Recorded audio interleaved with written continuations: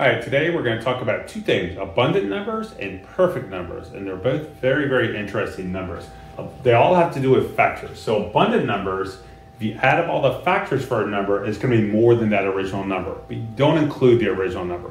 For example, if I have the number 8, its factors are 1, 4, 2, and 8. But you don't count the 8. So then you add up 1 plus 4 is 5, plus 2 is 7. So that is not an abundant number. So let's look at like 12. 12's factors are 1, 2, 6, 3, 4, and 12. I don't worry about the 12, so I add up the rest. 2 plus 1 is 3, 9, 12, 16. So that's an abundant number.